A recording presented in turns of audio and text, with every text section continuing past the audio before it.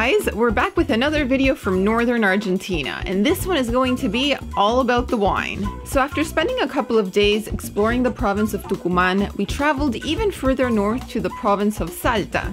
First up was the town of Cafayate, which is a wine producing region in the Calchaquí valleys. Here we planned two back-to-back -back days of visiting vineyards and enjoying a bit of wine. In this video, we'll take you to two wineries that came highly recommended, Bodega Piatelli and Bodega El Esteco. So we invite you to come along for the fun and also drink responsibly. Not like this one over here. Not like that. Try again. Try again. Oh, that went down the wrong way and it burned. Try again. How excited are you to drink some wine? oh. Uh, like a kid in a candy store here. Oh, yeah, yeah, so we're at Bodegas Piatelli here in the town of Cafayate. This is a place that was recommended to us by several people, so it's the first one we wanted to visit. And the plan is to have some lunch here, and we're also signing up for a tour. Bodega Piatelli is a short 15 minute drive from the center of town. It's situated at the foot of the mountains and has beautiful views all around. They have an on-site restaurant that is heavy on the barbecue and also features some regional specialties. We couldn't get a table just randomly showing up on a Sunday, but that didn't stop us from ordering a bottle of wine and enjoying some appetizers al fresco. Cheers, guys. Cheers. Cheers. Our first bodega here in Salta. We are at Piatelli. Piatelli, and we are trying a uh, Malbec Tannat 50-50 very nice place. Mm-hmm. the wine is really tasty. Wonderful. The color is red ruby red you know yeah. like i mean really, really, nice aroma as well. Yeah you can you can smell the tannat grape. The bodega itself is uh, right at the side of the uh, at the foot of the mountain. And down there you can see the whole valley. You can see the other uh, cordon of uh, mountains over there with that uh, red terracotta color on the sides. Beautiful place. Look, it feels like time is standing still, you know? Yeah, and apart from the vines, they also have beautiful gardens with like yeah. rose bushes, you have cacti, you have yeah. trees. It's a stunning property it's to visit. Beautiful. It's beautifully yeah. manicured. You have the mountains in the background, you have the vineyards in all directions. Mm -hmm and it's, it's just amazing. A, it's a slice of tranquility out here. Definitely. And we have food coming. Yeah, we ordered some empanadas, a trio of empanadas with different fillings. Yeah. So we'll show you that as soon as it arrives. As soon as we it gets something here, to accompany we'll the wine. Until then, cheers. Until we, then, we drink wine. Yeah. We drink. We drink we happily. Drink.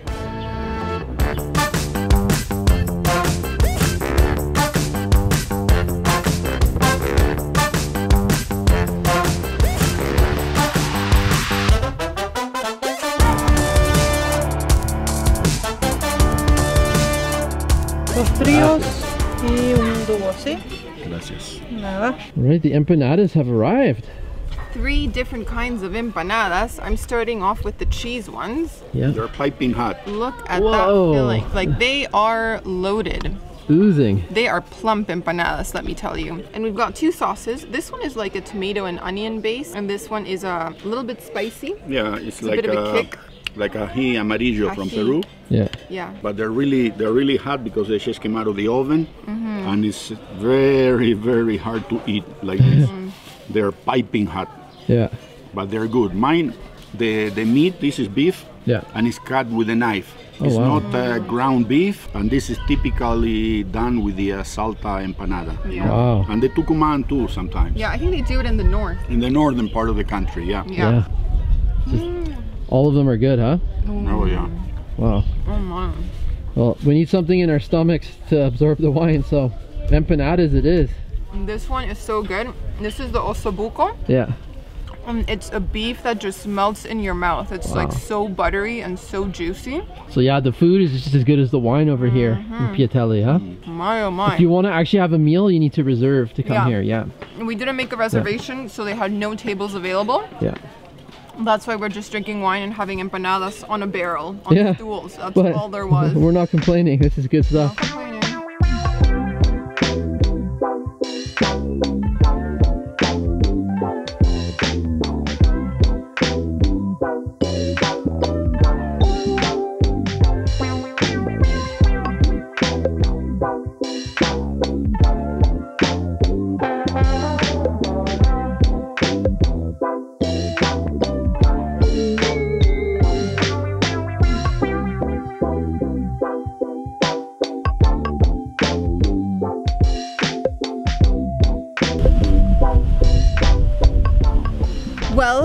Been wandering around the vineyard for the past hour or so, waiting for the clock to strike three. That's when they start the next tour. They stop briefly during the lunch hour.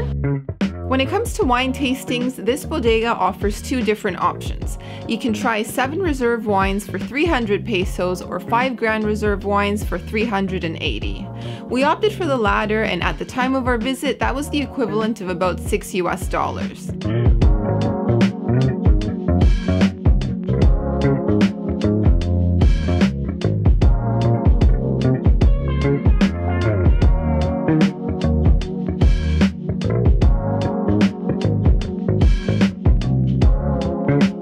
Went on a tour of the winery and even got a peek at their cellar, and later on we got to taste their wines.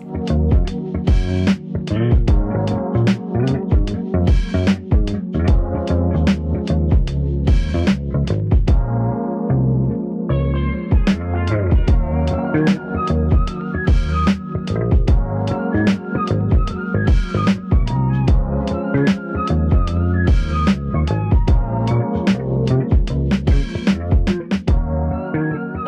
having here, guys?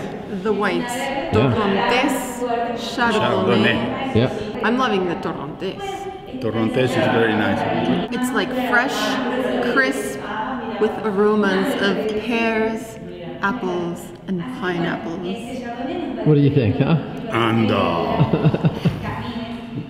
I like a wine that tastes like grapes. You know, that tastes like wine. like I always say, if I want the taste of fruit, I go to the fruit store and save a lot of money and buying a bottle of wine. Also, Sam's not really into white wine, so he had a sip and put the rest in the spittoon. Hey, I'm I, am i am saving I'm I saving for the red. It. I could have had it. He's just like.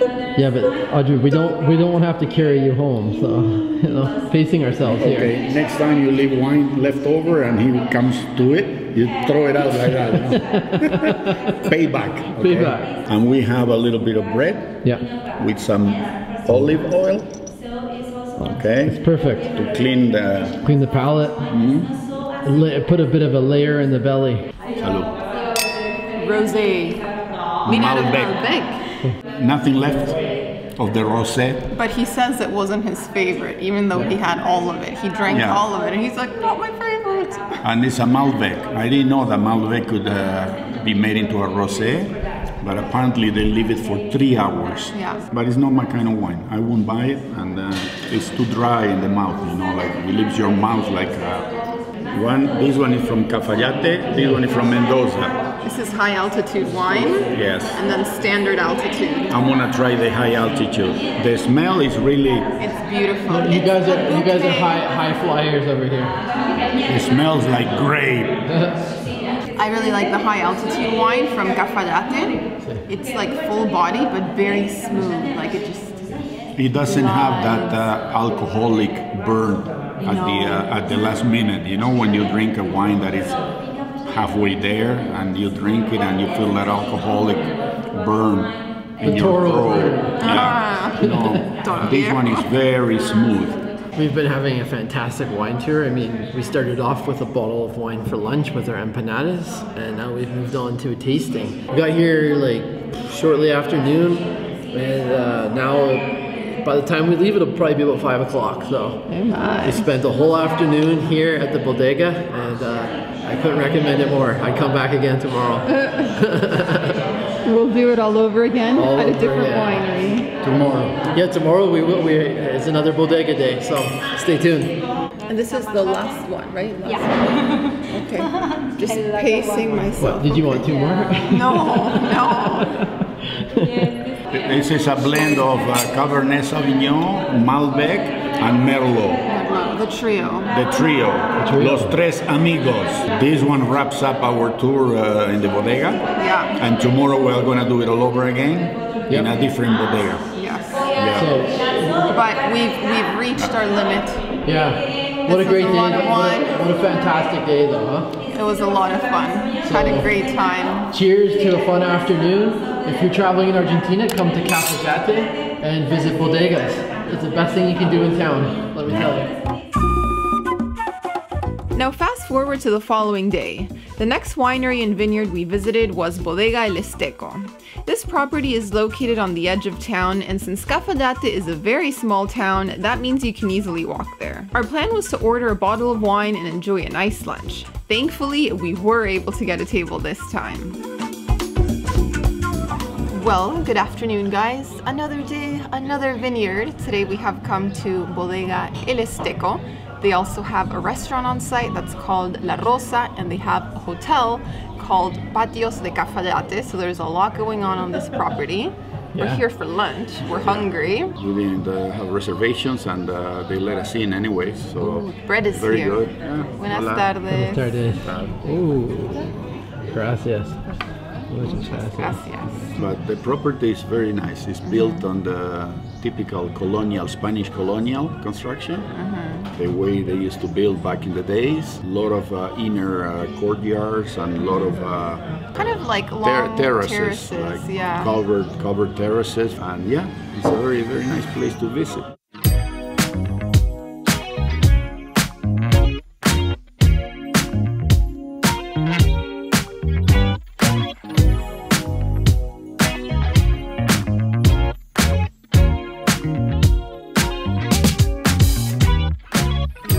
Cheers, guys. Wine and empanadas have arrived.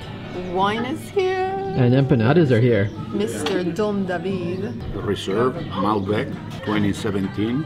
And it says it has been stored in oak barrels for 12 months, Yeah, when it's a reserve, it needs at least 12 months in uh, oak barrels. So it needs time. it's a very uh, soft, mild wine. You know, you cannot go wrong with this one. Top notch. It's very good quality stuff. Mm-hmm. Oh, yeah. My, my kind of wine. I'd put it up there as one of my favorite ones from Argentina. Yeah. It's, it's right up there. Right up there, and it's very, very, very reasonably priced, both here and in Canada too. So you guys have the, you guys have beef empanadas. How are they? Sure do. Marvelous, I tell you. Half of it is gone. With a little bit of the sauce on top. Oh yeah, Nice. yeah. The sauce really enhances it. The fried ones are just my favorite. They're the best. Hmm. Hmm. Good appetizer or what? juicy. Made to perfection. And you know what? I think the pastry is made with lard. Yeah, it Kind of is. has that. But That's flavor. they are very small. Here in the northern uh, provinces, they make them smaller. And when you start eating these, you don't stop. It's a danger, you know, because they're so tasty and so good that you could, I could stick myself with about a dozen, a dozen and a half of these ones, no problem. Oh my. So the best thing to do, instead of uh, having them as an appetizer, maybe one day you just decide to eat nothing but this, like, so you your craving can be satisfied, right? Look at all the cheese, copious amount. Looks amazing. There's a bit of salsa left. Some lime has already been squeezed over top, so I'm loading it up like that. I'm gonna do a one biter. One biter. In he goes. Wow. I've tried empanadas in a lot of different parts of Argentina. The ones that you get in the north from like Tucumán and Salta, those are my favorite. Mm-hmm. They're just so good. And they go perfectly with a glass of wine. They do. Cheers to that. Some Malbec. All right, mains have arrived. What do we got? Things are here. What have we got? Fettuccine. My dad and I both ended up getting the same dish. Yeah, originally I wanted to try their northern stew, their cazuela, but they were out. They didn't have any, so I got the pasta instead. Yeah, they, they were very lentils, nice. right? Oh yeah, it was like a, a lentil stew, Yeah. which I'm sure would be wonderful with a bit of pork. But yeah, this is very tasty, a nice alternative, and I really like the presentation. How it's kind of rustic. They just serve it to you in the pan on top of this like wooden tray Here it goes, down the hatch. down the hatch. Homemade. You cannot go wrong with that one. Mm. Yeah. Okay? Beautiful. And we also got a little side salad since we haven't been getting lots of vegetables in our system. This is called the Inca salad. And it has quinoa, tomatoes, onions, corn, lots of lemon juice. Parsley. Very good. And you, Sam, you've got quite the meal in front of you. I know, can't wait to show you. Look at this, guys. Well, I'm gonna lift the hood so you can see. Toasted bun, sesame seeds. I've got egg. I've got tomatoes. I've got lettuce. I've got bacon, cheese, meat. I mean, the meat is so big it's even oozing out on the sides. Looks incredible.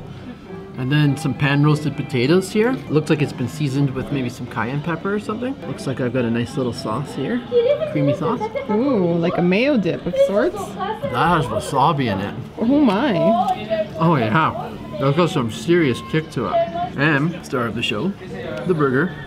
That is a big burger, guys. Look Oh at that in the oh hands. Barely contain it. Oh, that looks juicy. Oh. Oh yeah. It's like a meat lover's dream, you know? That's just a beautiful burger, man. Like the food here has been phenomenal. Everything we've had from the bread to the, the empanadas to this. You guys have really enjoyed your mains too. Yeah. This restaurant is fantastic. Love it.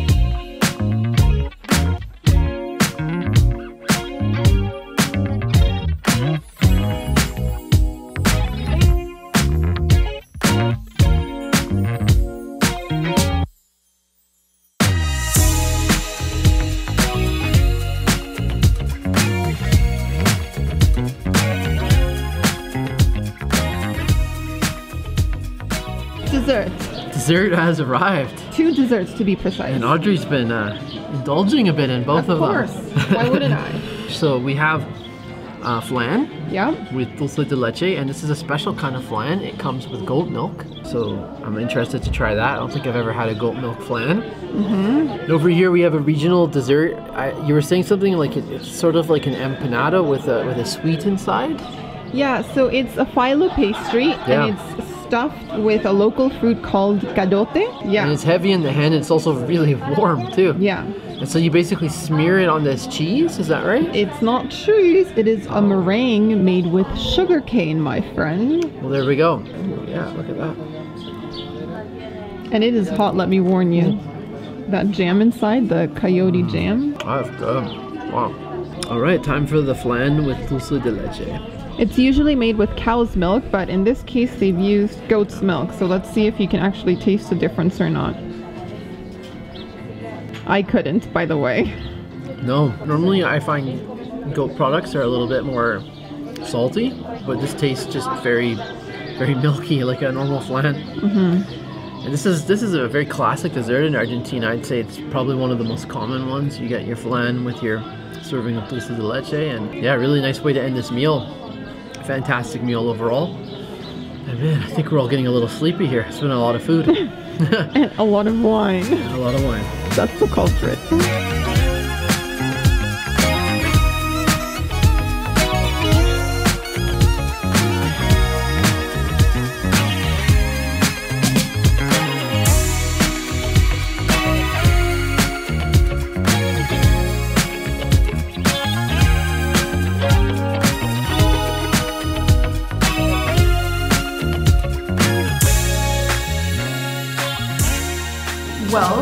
Lunch is over. That was a delicious meal.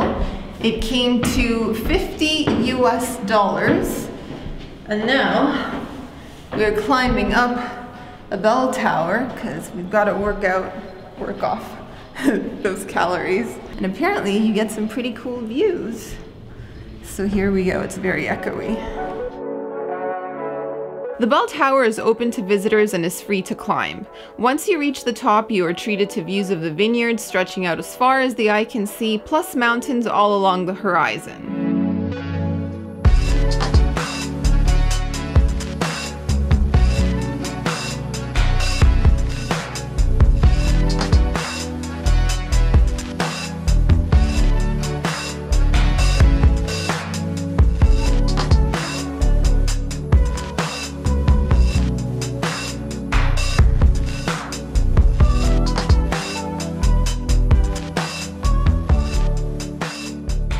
Well, guys, that concludes our visit to Bodega El Esteco. That was fun. That was great. Yeah, that was a good meal, Oh, yeah. a good wine. Mm-hmm. Now we're ready to go home. We're gonna have a good siesta. Siesta. Maybe relax for a little while. We have another half an hour walking, Mm-hmm. and it's it's still hot out there, you know. Yeah. Sam also bought some Yeah. souvenirs. We should also mention there's a hotel that looks fantastic There's here a too. hotel.